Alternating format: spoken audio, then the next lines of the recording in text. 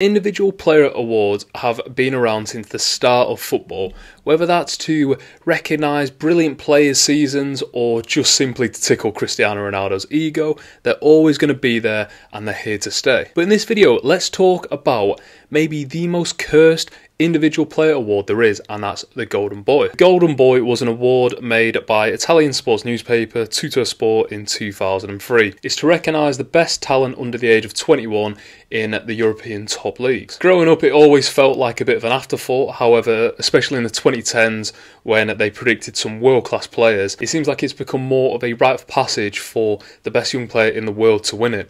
As we saw with last year, Jude Bellingham had a fantastic season and therefore won the award. But who would have thought it giving a 18 year old, 19 year old lad an award saying you are the best player under the age of 21 in the entire world, or at least in Europe, was a bad thing? But it seems like it has been over recent years. Let's fly through all the winners of the Golden Boy since 2003, and then we can kind of evaluate see where it's gone wrong for these players. 2003 Van der Vaart, 04 Wayne Rooney, 05 Lionel Messi, 06 Fabregas, 07 Aguero, 08 Anderson, 09 Pato, and then 2010 Mario Balotelli, 2011 Mario Götze, 2012 Isco, 2013 Pogba, 14 Raheem Sterling, 15 Martial, 16 Renato Sanches, 17 Kylian Mbappe, 2018 Matthijs de Ligt, 29 2019, João Felix, 2020, Erling Haaland, 2021, Pedri, 2022, Gavi, and then 2023, Jude Bellingham. It's funny to look back with hindsight because you can either say, especially that late 2000s 2010 period where either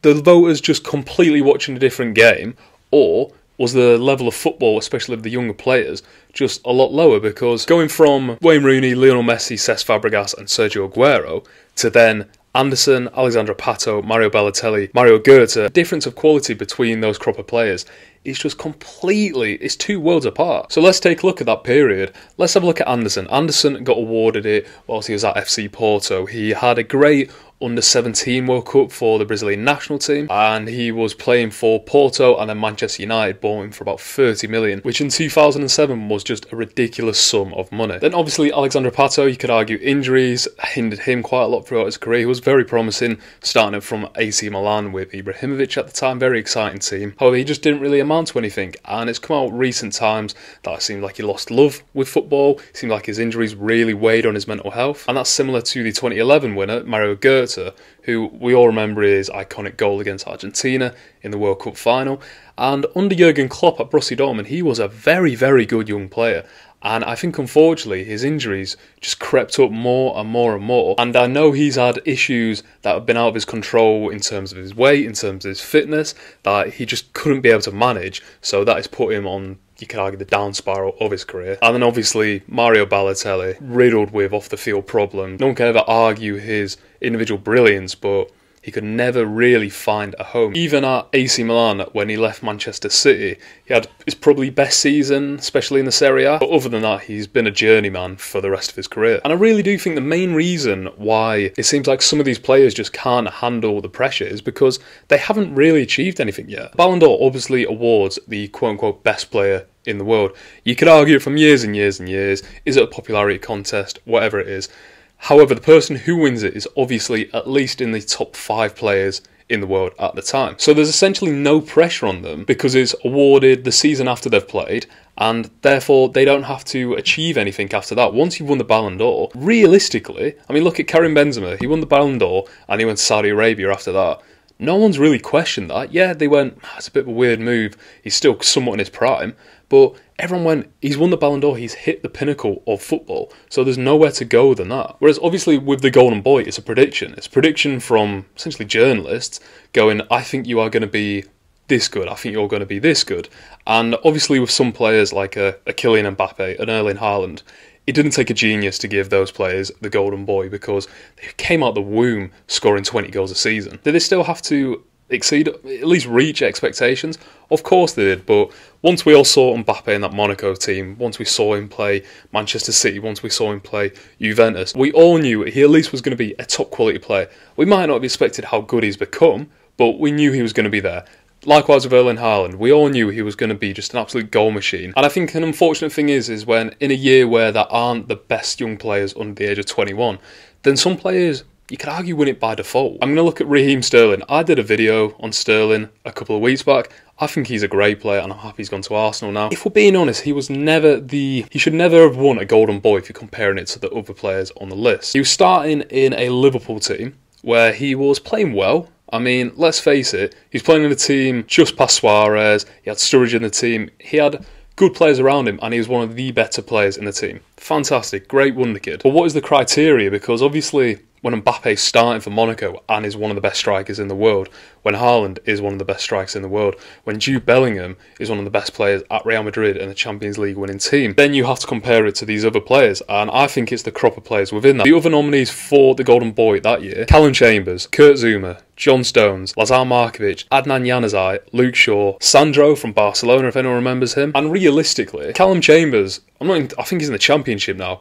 Kurt Zouma is just a pretty decent Premier League centre back. Luke Shaw, I mean, he could have been one of the best left backs in the world if he didn't get injured. But because of this, Raheem Sterling, he, he deserved to win in the year because obviously the players, but he didn't deserve to have the crown of the best young player in the world that year, did he? And unfortunately, I think that lumps unnecessary pressure on him. Sterling, I think he he didn't live up to the expectation, but he still had a fantastic career with all the pressure on him at young age. But like I say, if I'm comparing it to the Ballon d'Or, if I'm comparing it to the Premier League player of the season, you don't win it by default. You have to either be the best player on the best team or you're just the best player in the world. Luka Modric had a brilliant season with Croatia and Real Madrid, and therefore he won the Ballon d'Or. He didn't get given that title because they couldn't find anyone else to give the award to. He just got given that because he was, for argument's sake, the best player in the world that year. And to follow up on the unnecessary pressure, the Golden Boy, because everyone loves titles and everything like that, it's always going to be attached to you for the rest of your career. Mario Balotelli,